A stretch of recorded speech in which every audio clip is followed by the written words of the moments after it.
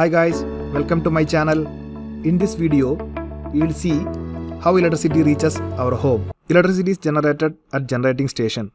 There are different types of generating station exist in the world. It may be hydroelectric generating station, thermal power plant, nuclear power plant, etc. From generating station, it is transferred to distribution substation using a transmission lines. Transmission line may be either underground or overhead. In distribution substation, we reduce the voltage from 220 kV or higher voltage to 430 volts that is standard three phase voltage. Distribution substation you may see in high rise building or in your apartment complex. Electricity is generated in generating station or power plants. In all these power plant, some form of energy is converted to electrical energy. In hydroelectric power station, kinetic energy of running water converted to electrical energy. In thermal power plant, heat energy converted to electrical energy. In nuclear power station, nuclear energy is converted to electrical energy. Renewable power plant, renewable energy, solar, wind, etc. converted to electrical energy. Let's look at a basic diagram of a hydroelectric power station. You can see water is stored on higher level, higher reservoir. It has a potential energy and it is transferred to lower levels. So this potential energy of water is converted to kinetic energy. This kinetic energy is used to rotate the turbine. So this kinetic energy is converted to mechanical energy. This turbine is attached with a generator. This generator converts mechanical energy into electrical energy. From this generator, it is step up. Normally the electricity is produced at 11 kV. Then it is step up maybe 220 kV or more using a step up transformer. Then it is transferred through transmission lines. This is a picture of a step up transformer. You can see it here. It has more number of winding in the secondary coil. Number of winding will be higher in the secondary coil. Electricity is generated normally at 11 kV and it is increased or stepped up using a step up transformer to 220 kV or more for the long distance transmission. Why we are using step up transformers? It is used to minimize the losses. We have seen the generating station. The next component is a transmission line. Transmission line may be either overhead lines or underground cables. Electricity is transferred from generating station to the distribution substation through the transmission lines. If we look at the picture, this is a picture of underground cable. One is directly buried in the ground, the other one which is in the trench. Material used for underground cable is either copper or aluminium. Normally, this underground cables is used for short distance transmission. If the distance is more, we don't use underground cable in general cases because it is difficult to install and it is expensive.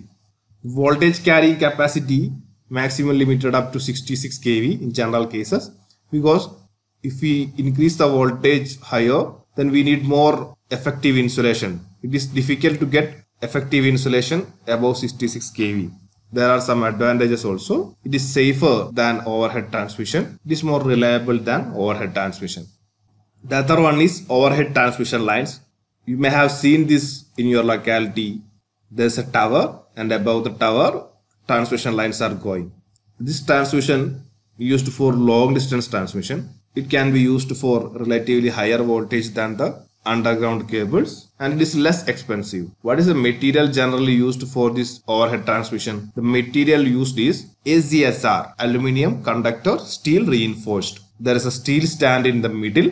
Above that, aluminium strands attached. This is the construction of ACSR, aluminum conductor steel reinforced. There are some advantages of this material. High tensile strength, economical design, less weight, suitable for medium and long periods, fewer supports, etc. The next component is distribution substation. The function of distribution substation is directly opposite to the function of a step-up transformer. It reduces the voltage. It reduces the high voltage into low voltage. For example, our three-phase voltage is 440 volt in India. So, a distribution substation or final substation reduces the higher voltage into 440 volts. In distribution substation, step-down transformers are used. In generating station, step-up transformers. In distribution substation, step-down transformers are used. Let's look at a wider picture. This is a electrical grid. you can see electricity generated in power plant at 11 kV and it is stepped up using a step up transformer from 11 kV to 220 kV. There are transmission lines, there are also 220 kV. Then you can see the distribution substations 220 kV to 33 kV, then 30 kV to 11 kV. In some buildings, direct 11 kV is supplied. Some building 11 kV step down to 440 volt. That is the standard three phase voltage in India. If you look at this picture in detail, you can see multiple power producing stations here. This is a picture of a thermal power plant, then hydroelectric power station, then wind farm, etc. Then there are multiple consumers, industrial consumers, commercial consumers, residential consumers, and distribution network. All this arrangement is together called grid. That is, all this energy produced from power plant, hydroelectric power plant is scattered to a grid. From the grid, the consumers draw the energy or draw the electrical power. What is the advantages of a grid? For example, we have some maintenance scheduled for two weeks in a thermal power plant. If there is no grid, what will happen?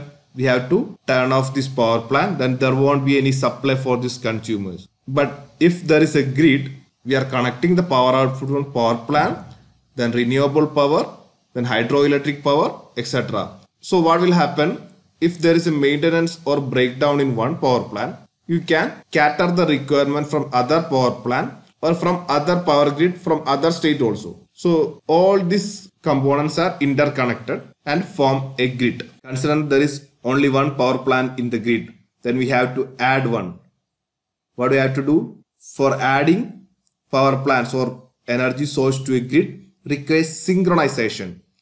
Synchronization means we are matching the different properties of power with the existing one or we are synchronizing the current power and the new power which will feed to the grid. This is for the basic understanding of the grid. All these components and power grid will cover in detail in coming videos. That's it guys.